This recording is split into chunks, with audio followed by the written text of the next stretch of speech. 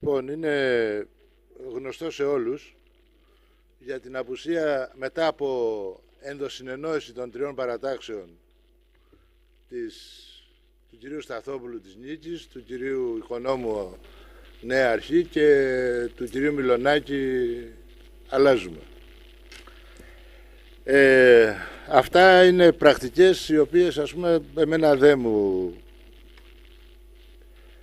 τέλος πάντων δεν μου αρέσουν. Λοιπόν, αύριο λοιπόν θα γίνει έκτακτη οικονομική και ο λόγος για τον οποίο δεν ήρθανε παρόλο που κάνανε ο κύριος Οικονόμου εναλλακτική πρόταση για να μπει τα 2.750 όσον αφορά το μακρύ στον προπολογισμό ε, ενώ πήραν απάντηση από την οικονομική υπηρεσία, την είχαν ξαναπάρει γραπτή κιόλας ότι δεν, μπορεί να, δεν μπορούν να μπουν αυτά τα χρήματα διότι δεν είναι νόμιμο, ε, θα μπορούσαν να έρθουν αφού θέλουν να κάνουν εναλλακτική, να περάσει η πρόταση της, η εναλλακτική της, της αντιπολίτευσης, του κ. Οικονόμου βασικά, οι οποίοι έχουν γίνει και ουρά του οι, οι, οι άλλοι δύο τελευταίως και πραγματικά έχουν γίνει ουρά του.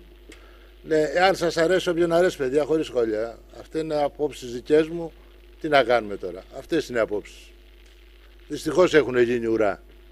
Και ο Σταθόπουλος και ο Μιλονάκης. Του Τίνος, του Οικονόμου τώρα.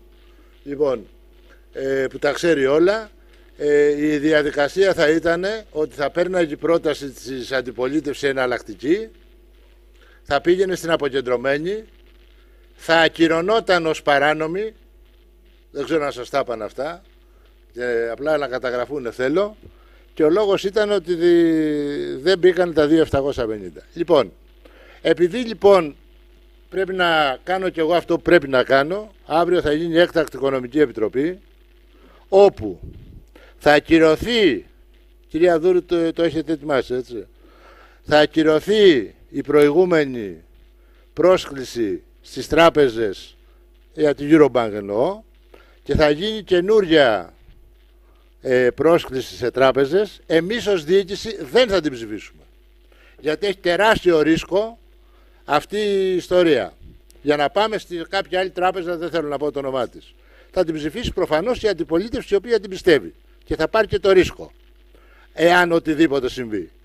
Οι τέσσερι ψήφοι που είναι στην οικονομική της αντιπολίτευσης φτάνουν και περσεύουν.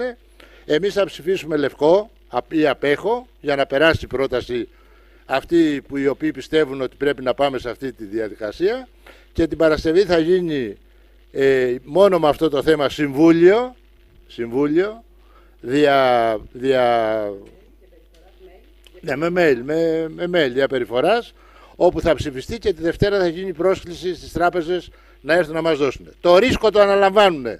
Αυτό, εάν δεν υπάρξει δάνειο, αυτοί οι οποίοι πιστεύουν ότι αυτή είναι η λύση, δηλαδή οικονόμου, η κύριος Οικονόμου, ο κύριος Σταθόπουλος και ο κύριος Μιλονάκης και θα πάμε πιο κάτω. Λοιπόν, αυτά.